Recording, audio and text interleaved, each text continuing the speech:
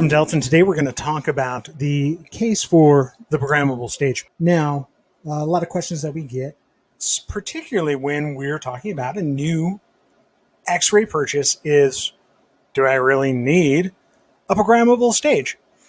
I will tell you that more times than not, whenever somebody asks me that, and then they proceed to purchase a manual stage or just a flat based unit, invariably afterwards they say, I really wish I had gotten that programmable stage. So let's talk about why you might want that. And what we're going to do here is run a series of examples with uh, this little piece of plated steel here. This should be uh, a zinc on steel hopefully you can see that I've added about seven different little marks on there. And this is going to be our example piece. Did seven marks just because that's typically the minimum required number of measurements in any sampling plan. The unit I'm using today is already equipped with a programmable stage. So what I'm going to do is I'm going to use this uh,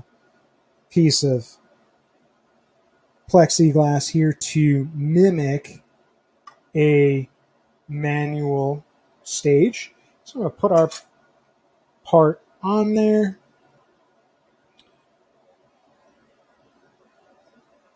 Close the door so that goes back in. And now what we've got to do is manually adjust and find our part.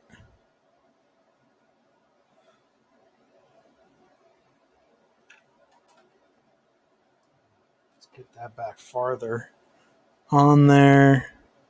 So I've got more room to play. I think that might have been it as it went by. Let's lower down a little bit. Get in focus. Aha, I see something. What have we got here? That is just the end of our plexi.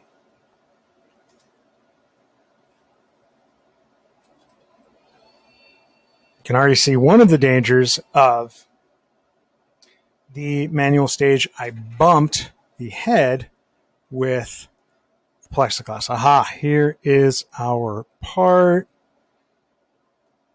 And now let's see. We can find the first one. Ha, here's our first tick mark. Do a little focus here. Now I'm actually going to do this as a series of test readings. Normally, if I was doing an example, we would have sped this up so you don't have to sit through and watch this countdown. But I, I really do want to see the exact time it takes for these readings. This part number, we're going to call this manual. My initials in there because it's me. Yay. Okay. We're going to do 10 second measurements. I have seen people crank this down to three, five seconds. 10 seconds is probably about the minimum you want to do for any application on an x ray. All right, one done scoot over to our next one. And these readings are about a half an inch apart across the face of this, just to give you an idea of how far we're moving each time. Uh, in an effort to make this as quick as possible, just to give the manual stage a fair showing, uh, I am using the start measurement button on the front of the x-ray just to cut down on time between movement and start.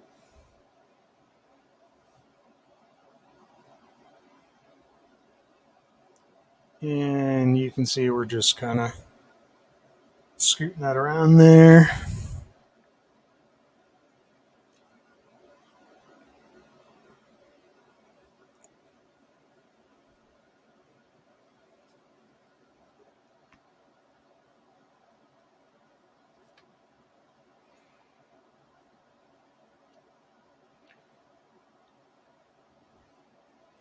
To be fair, uh, I've had about eight cups of coffee so far today, so my hands are a little shaky. Um, that may may make a little bit of a difference in the time in between readings, but I don't think it's that big a deal, particularly because I'm moving quicker because of the caffeine than without.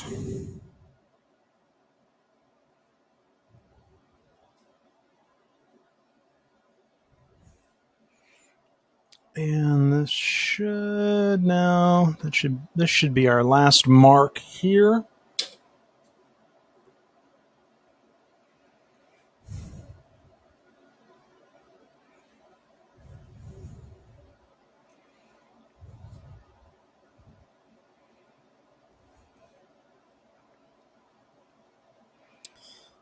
And it is. So we can look at the timestamps for the reading and we can see that it took probably two and a half minutes for our manual readings. And that's just the readings themselves. That did not include any of the initial adjustments.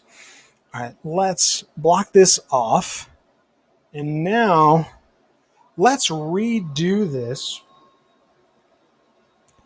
Where we're going to use the programmable stage to do the initial lining up and all of the movement of the actual parts. So let's toss this guy in here. Laser on or around our first tick mark.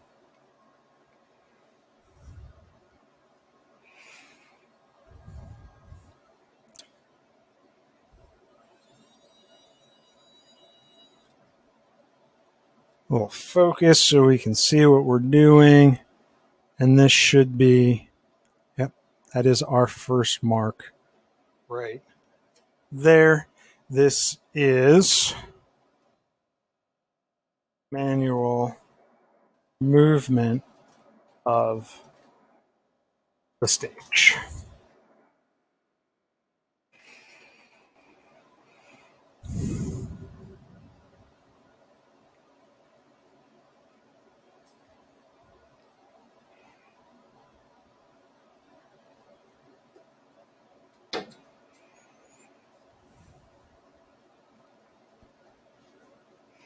And again, these are the same seven marks we did with the manual stage.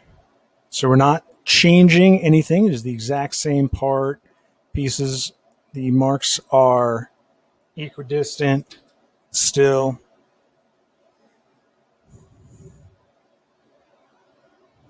And while our numbers should be fairly consistent, we're not super concerned with the consistency of the numbers, though that will prove that I really am hitting the same spots every time.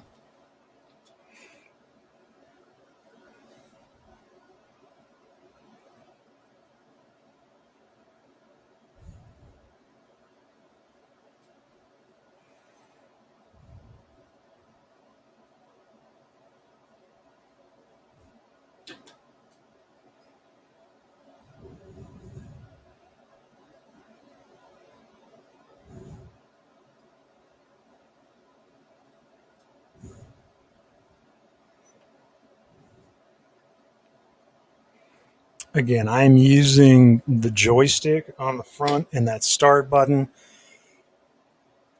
because that's going to be the quickest way of doing things. We could also control it from the screen uh, with the mouse to hit start. I do know that takes longer.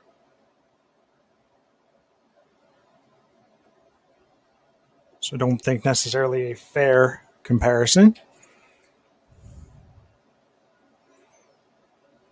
And here is our last reading coming up.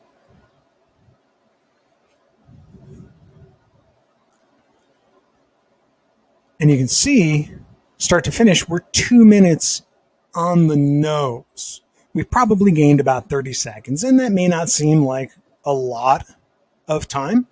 However, it is when we start talking about your sampling 15, 20 lots a day, multiply that out.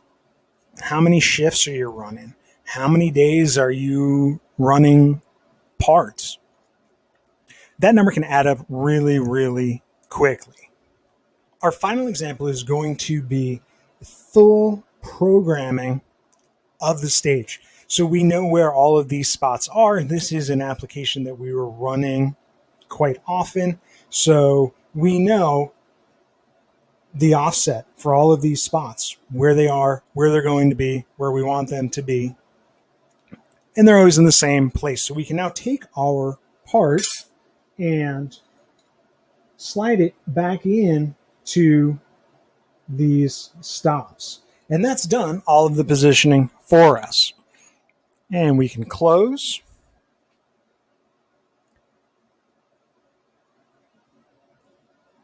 And now I can just go right to take a, I can hit run. Uh, and that's going to start this XY programming that we've already built into the application. And you can make all of these different XY programs for all of your different parts. You can jig them. You can have this set up.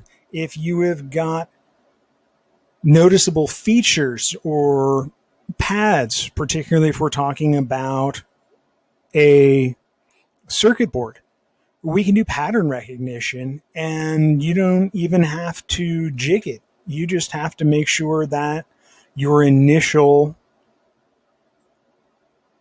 feature that you're using as your indexing point is on the screen.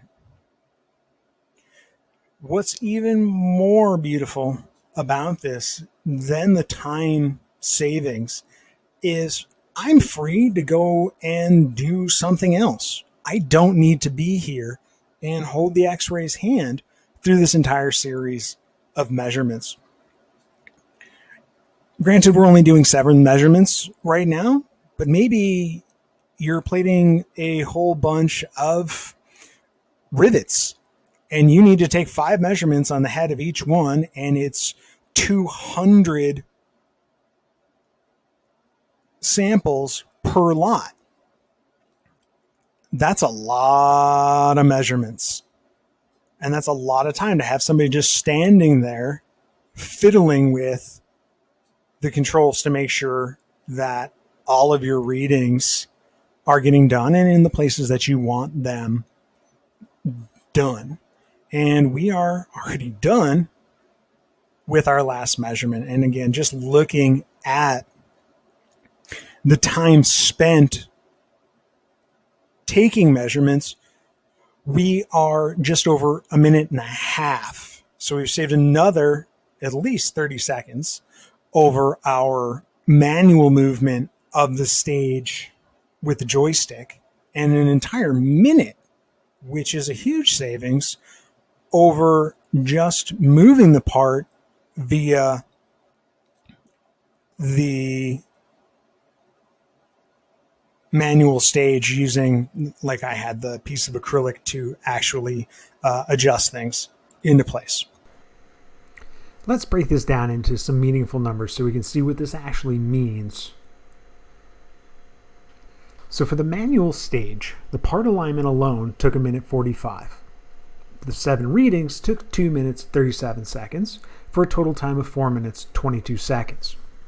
That means if you have an operator making $16.50, it costs $1.20 per batch. Quality Tech, which probably makes closer to 24, is $1.75 per batch. Now, if we're using the joystick, the part alignment is 35 seconds. Seven readings takes 2 minutes and 15 seconds for a total time of 2 minutes 50 seconds, where we save a minute 32. For the operator, that means it's going to cost about 78 cents a batch, which saves us 42 cents per batch. Quality Tech, that's going to cost more like $1.13 a batch and save you about 61 cents per batch.